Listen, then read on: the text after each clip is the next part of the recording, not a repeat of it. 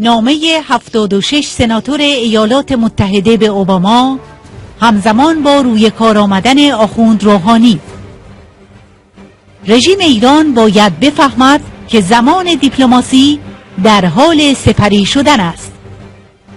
بیش از سه چهارم اعضای سنای آمریکا. ما باید بر شدت تحریم ها بیافزاییم و اعتبار گزینه نظامی را تقویت کنیم. برنامه تسلیحات اتمی رژیم ایران فوری ترین چالش امنیت جهانی. رژیم ایران باید فوراً از قطنامه های شورای امنیت ملل متحد مبنی بر توقف قنیسازی اورانیوم تبعیت کند. باید نصب سانتریفیوش ها را متوقف کند.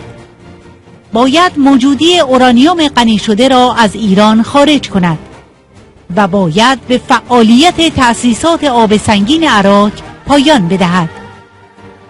ما باید برای دست به عمل زدن آماده باشیم و رژیم ایران باید این آمادگی ما را مشاهده کند.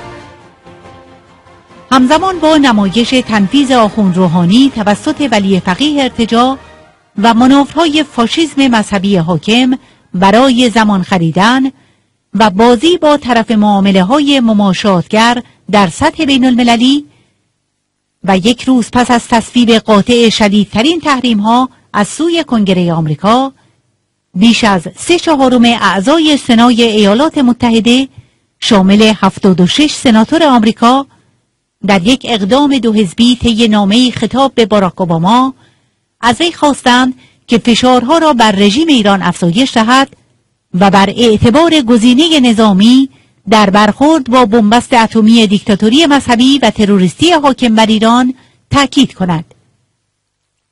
در این نامه که به ابتکار شماری از سناتورها از جمله سناتور رابرت منندز از حزب دموکرات و رئیس کمیته روابط خارجی سنا و سناتور لینزی گراهام از حزب جمهوریخواه و از اعضای کمیته نیروهای مسلح تنظیم شده آمده است. در جریان انتخابات اخیر رژیم ایران مردم نارضایتی روشن خود را نسبت به سیاستهای این رژیم نشان دادند. ما امیدواریم این وضعیت علی خامنه ای رهبر رژیم را برای رها کردن برنامه تسلیحات اتمیش متقاعد کند. اما تا زمانی که ما یک کاهش چشمگیر در فعالیت های اتمی رژیم ایران مشاهده نکرده ایم معتقدیم کشور ما باید تحریم ها را تشدید کند و باید اعتبار گزینه استفاده از نیروی نظامی را همزمان با بکارگیری راه های دیپلماتیک تقویت کند ما عمیقا با رنجی که مردم ایران در حاکمیت خامنه ای متحمل شده اند ابراز همدردی می کنیم.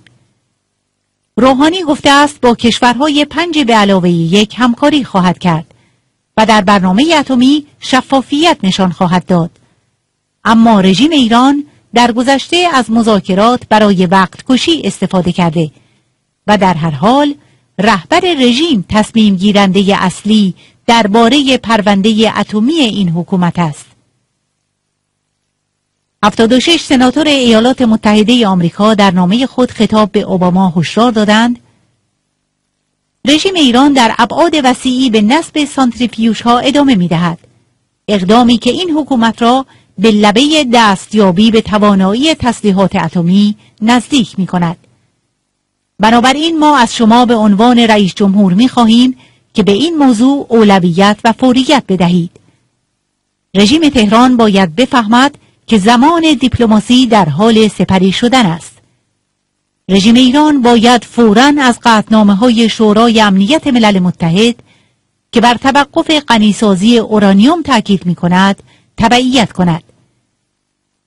رژیم ایران باید نصب سانتریفیوش ها را متوقف کند و باید موجودی اورانیوم های غنی شده با قنای 20 درصد را از ایران خارج کند و به فعالیت در تأسیسات آب سنگین عراق پایان بدهد.